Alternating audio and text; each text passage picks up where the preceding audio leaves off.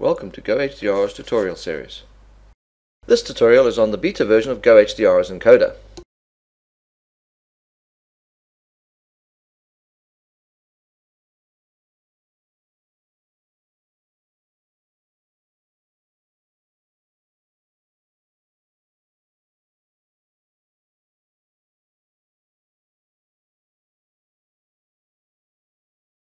The beta version of the encoder requires DivX Pro and will only compress OpenEXR frames.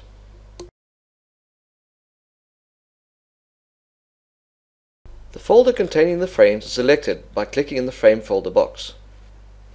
Once the folder with the frames is selected, the compress button is pressed.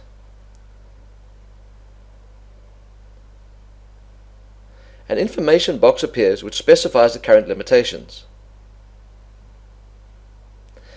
Another box now appears which allows the underlying compression algorithm to be selected. For now this must be DivX 6.9.2 codec. As per the information box, the parameters of DivX should be correctly selected. The compression then starts with a bar showing progress. Currently it is taking a few seconds to compress each frame. On completion the encoder closes and a new file appears in the directory. This is the compressed footage in GoHDR's HDRV format. This file is now ready for viewing with GoHDR's media player.